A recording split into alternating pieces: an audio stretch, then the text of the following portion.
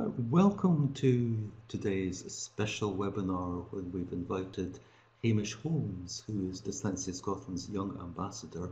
He's a, an S5 pupil at Dunblane High School and we've got him to come along and talk about how he's using technology to support his dyslexia in the classroom. Okay, great. over to you, Hamish. Okay, Hamish, so over to you. So what I'm going to do now is just going to share my, my screen with you, okay, so we can we can see your, your iPad because that's what you're going to be demonstrating. So we'll just do that just now. To share my screen. And uh, let's just get that. Okay. And we'll just bring your iPad up. We'll minimize this so it doesn't get in the road. And then we'll bring your iPad up. Okay, and we'll go full screen.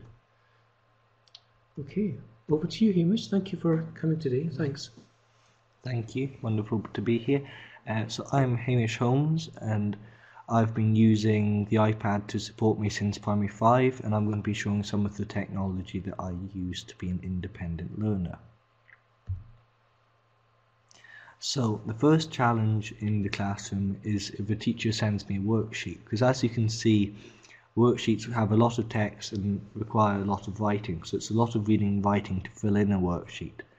So my solution to this, if a teacher uh, wants me to fill in a worksheet or workbook, is to get them to send me it digitally via either Google Classroom or Outlook, and then I can send it from those uh, uh, from those apps to my, a different app where I can edit it on. So if I go to Pages at the moment.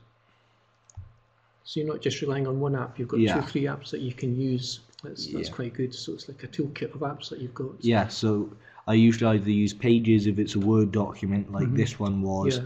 or Claro PDF if it's a PDF, and they allow me to do slightly different things.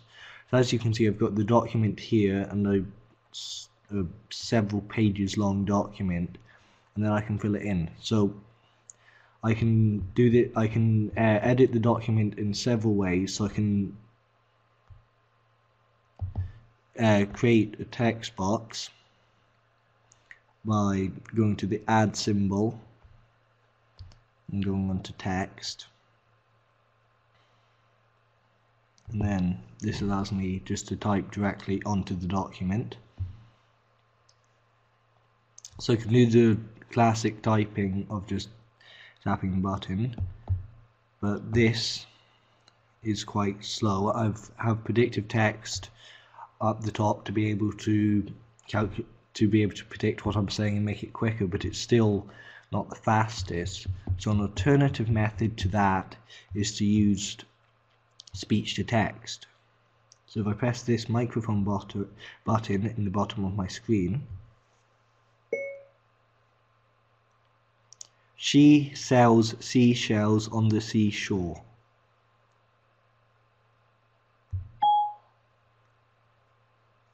and that should load. Usually much quicker than this I think. The Wi-Fi and the connection is yeah. Maybe give it another try see yeah. how, how it goes. She sells seashells on the seashore.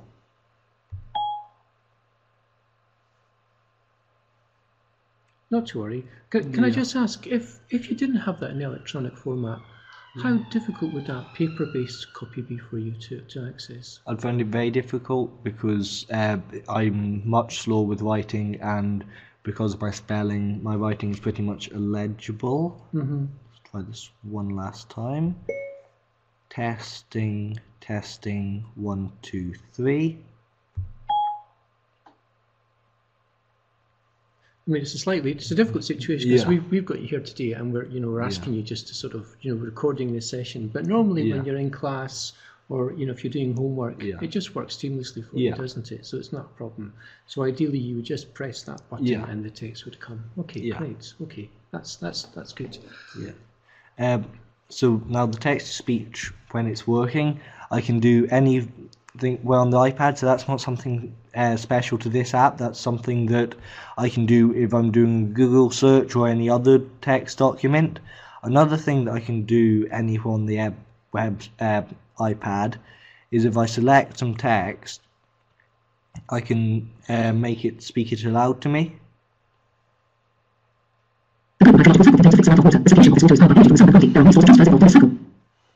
So that that's the speed I usually listen to things at, but I can slow the speed down either by going into settings or if I drag two fingers down from the top of the page. It does full screen read and this will read everything that's on my screen. But it also then gives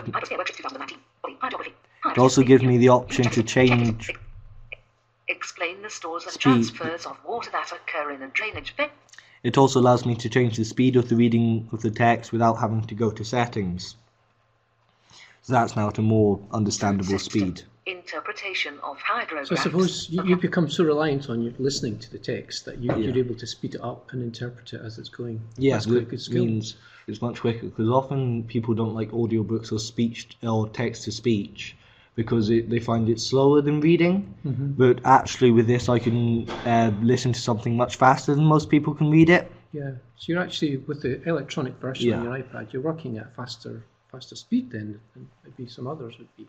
Yeah. Yeah, very good. Um, with this app, of course, I can um, add in different shapes as you saw before, but I can also add in uh, graphs or uh, tables as well as adding photos, either the ones that I've taken previously or directly from my camera roll uh, or directly from the camera, even. And what this means is if there's a board or so, something that rather than having to copy down off the board, I can just take a picture of it and uh, put the pi picture straight into my document. Um, so then the next challenge for uh, yeah after worksheets is books. So if I'm uh, told to read like this chapter of this book, it's um, it's obviously quite hard. So I listen to audiobooks. But the thing about audiobooks is often not all the li- they're not often not all audio libraries will have the same book so it'll often take me longer to find a book so that's why if you were going to be studying a text in class i like pre-warning about what text it's going to be and i would look at different libraries to see which is cheapest or if i can get it for free so i'll play a clip at the speed i listen to books and to see if anyone can understand it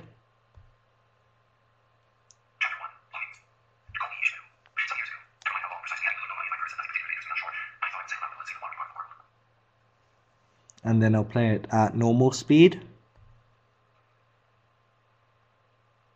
Hopefully. Chapter 1 Loomings. Call me Ishmael. Some years ago, never mind how long precisely, having little or no money in my purse and nothing particular to interest me on shore, I thought I would sail about a little and see the Mm, so it's quite a difference. Do you yeah. have any sort of top sites or library sites that you go to that you could pass on to others? Yeah, so I good? use Calibre Audio Library as my main library, and mm-hmm. it is a one-off payment of thirty-five pounds for any anybody who's not able to read print text.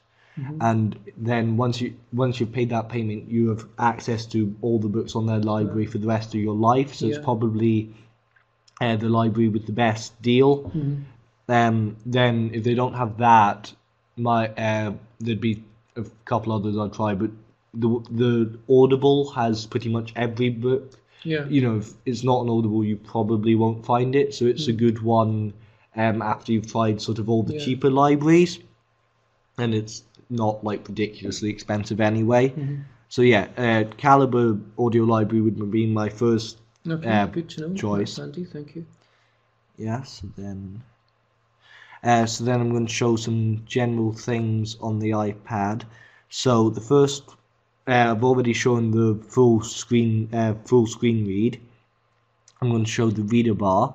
So that's these four lines that would be at the top of your search bar. In uh, newer iOS, I think it looks like two A's next to each other. So if I go on to the internet.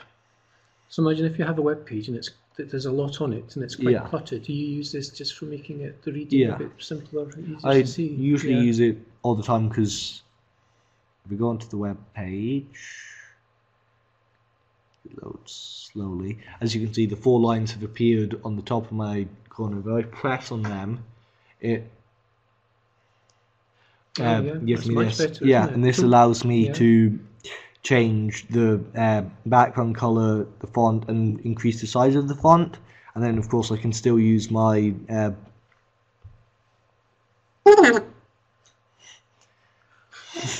that that was ridiculous. I just can't get used to yeah. that voice.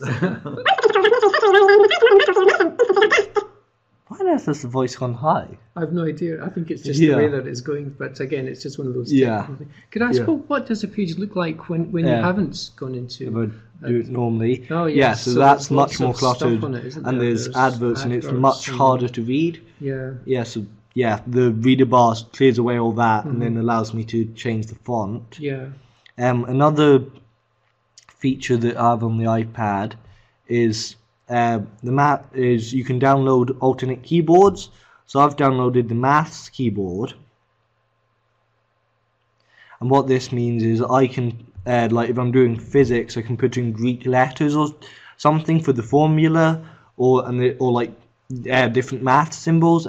Uh, there's various different things I can do, and it means if I'm typing something, it, I don't need to like try and go on the internet and copy and paste a symbol or anything. I've mm-hmm. got it there, and there's various different keyboards. Uh, you can get ones that have different colors, or you can get ones uh, that are like in. You can download all the different languages, mm-hmm. like so you can have French keyboards that allow you to uh, put like accents on it and the normal keyboard, if you hold a letter, you are able to put see all the different versions of that letter that uh, you might use, and you can select one of them. So, uh, good. Yeah. Have you just discovered these things, trial and error? Have you? Uh, yeah, and then mm. also watching webinars well, yeah. and going to conferences, different mm-hmm. things show uh, show off. Um, then the final thing I'm going to show is seeing AI, and then there's other similar apps like Claro Scan Pen, and they all have their advantages and disadvantages. Uh, seeing AI is free and has other features because it's designed for blind people, so it can also like recognize products or do currency and things. Mm. But mm-hmm. then uh, Claro Scan Pen doesn't need Wi-Fi, so you know there's sort of drawbacks and. Yeah. Uh, you're just going to access your camera yeah. and you're going to scan a, a piece of paper. Right? Yeah, so if I go to short short text text, I can look at a document and then University, Adardale, Scotland. Isn't has the call to the not no, that it the, the 8th APSIT 2013 it is the 8th of apps to be in October Paul 100 this the apps fit to be. It call over it AL Scotland so, so the short text is really designed to read like a single sentence or something. Mm-hmm. if I go to document. Top and right edges not visible. And go to uh, edges visible. Oh so it positions it as well. That's very good. Yeah. Helps you to position it. So hold steady. Processing. So this is good if you have a worksheet or something that they no longer have a digital copy of. It will then convert it. So that's all the text on the document. And then I can uh, read this. Body, font family, Arial, font size, 12 points. D word, C Cuban's diagram, for 1 now to N note take co WW can action error dark co Q and I can change the size of the font. for learners with dyslexia reading. Uh, uh, yeah. Writing difficulties to be produced since it was first launched in October 2013. It has yes, as you can see, that's really accurate with yeah. what it's got. Yeah. And I can, I've played with the settings around with this, but again, you can change the voice speed and the voice that it's reading out mm-hmm. of. So this is a really good app for this yeah. document I mean, that, that menus. document was quite complicated. You yeah. circle and there's apps and things, but if you just had some like a piece yeah. of text, it would be good, wouldn't it? It would be really yeah. very good. It's a very good thing for menus or anything, and yeah. you can just download it on your phone, and it's free and it's really quick to use. And I suppose learn. if you're out and about as well, and you just have a quick look at you know on your phone, if you find yeah. something difficult to read, you it's quite good for that as yeah. well, isn't it? It's quite indiscreet. Yeah, and that's where the short text option would be more useful. Um,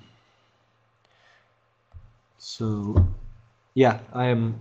Yes, these are various technologies that I use to be able to like edit worksheets or listen to books, and it and I find it has allowed me to become a completely independent learner. Mm-hmm.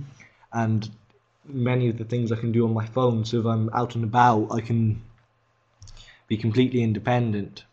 Yes. Right. So um, you're, you're in fifth year, did you say? Yeah. Are you doing Highers or? Yeah, I'm doing Highers. You're doing yeah. Highers. Okay. How many Highers are you, are you doing? I'm doing five Highers. I'm doing geography, physics, engineering, maths, and English. Ah, that's quite impressive. And what did you do last year? Uh, last year I did GraphCom, engineering science, maths, English, geography, uh, computing, and what have I not said? Geography. Quite a few. Yeah, yeah, yeah. Whatever. Yeah. I did so seven hours. How do you think? Yeah, you know, if you weren't, if you didn't have access to the iPad, you didn't have access to these digital resources, how different would it be for you now? Um, it would be very different because it because I use it all the time. I use it in pretty much every class, and I just and it allows me to access my work and do my work to the mm. same standard as everybody else. Yeah, I mean, I, I imagine, and I, I, mean this in a nice way. Yeah. There must be lots of Hamishes out there, you know, who are struggling. So if you had a message that you could give to teachers and to schools, what would that message be? Um, I would say before your exam, just try and experiment with as many different apps and as many different bits of technology as you can. So find whatever technology you like and just experiment with as much different things as you can and uh, go onto websites like the Call Scotland website or Dyslexia Unwrapped to go along to conferences to see what other people use and just pick up tips and learn mm. different yeah. things. And your messages to teachers and schools would be, you know, try to encourage the use of iPads or laptops or you know whatever yeah, 100%. people are using to get the most of it. Yeah, because if yeah. you get have technology, you can lots of it will go in your pocket and it's easy to carry around and it's not just restricted to the school environment because mm-hmm. once you've learned to use technology you can use it at work or in uh, everyday life it's much yeah. more versatile. for you personally you've overcome lots of barriers haven't you? Yeah. That's great thanks. Okay so uh, what we'll do now is we'll just uh, I'll just let's just come off this and it will come off the iPad as well. And we'll just go back to the to the main part of the presentation is just here. And stop sharing. And go back to the desktop okay here.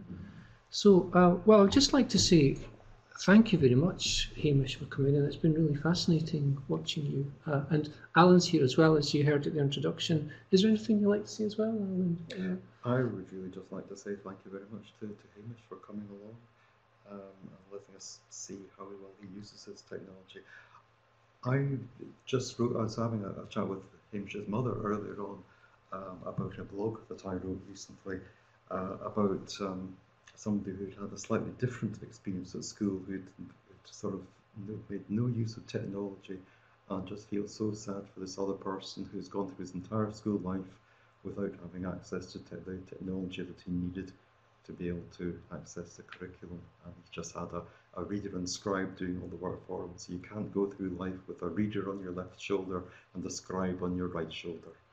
So thanks again mm. for coming, Hamish. It's yeah, been, thank you. really good. Yeah, so thank you. So, and uh, just uh, a quick thank you to Hamish's mum as well. Thank you very much. Thank you very much okay, okay. Thanks, Helen. Thanks, Hamish. Okay, great. Thanks. Bye. Bye. Yeah.